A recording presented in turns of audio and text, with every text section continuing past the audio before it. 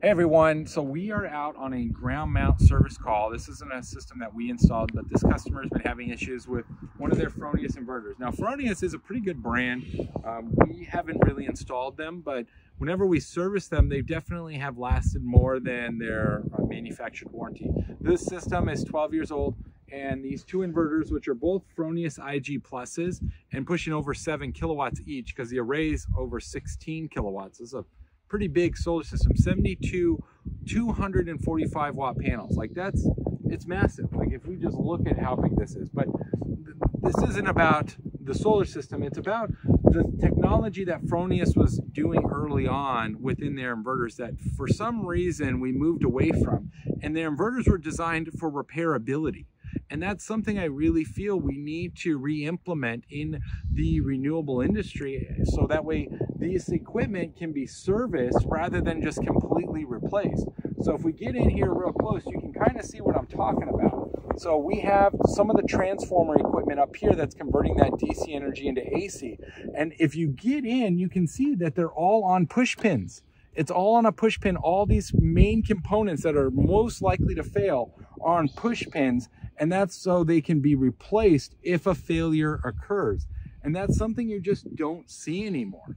So it, it is kind of frustrating that we moved away from a repairable type of product.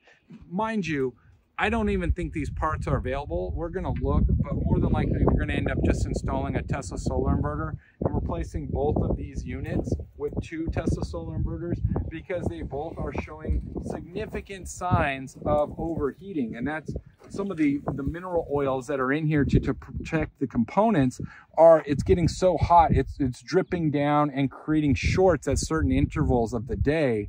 And that then in turn shuts off the inverter so it stops producing power.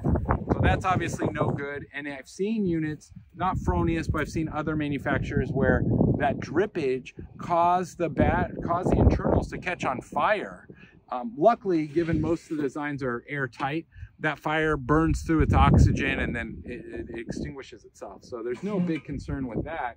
But you know, these units being outside with all the vegetation we have, it's probably a good idea just to replace them with something that has slightly better technology and is going to last another 12 and a half, 15 years. Like I said, there's nothing wrong with them. They're both working. It's just at peak performance of the day, due to the heat and the dripping of this mineral oil, they shut off and then they, they stop working for a couple hours and then they turn back on because they've cooled down and then the process repeats itself over and over and that's just no good so if you live in our area southern california and you're interested in you know getting your solar system looked at getting an inspection or you need it serviced and you can't find anybody well just call pacific sun technologies we're here to help you we've serviced systems for the last 17 years we've been installing them and they're systems we didn't install right we, we want to help you keep your investment running because that's what you made. You made a great investment and we want to help you maintain that investment. So I uh, just wanted to go over this and uh, hopefully you found it pretty helpful.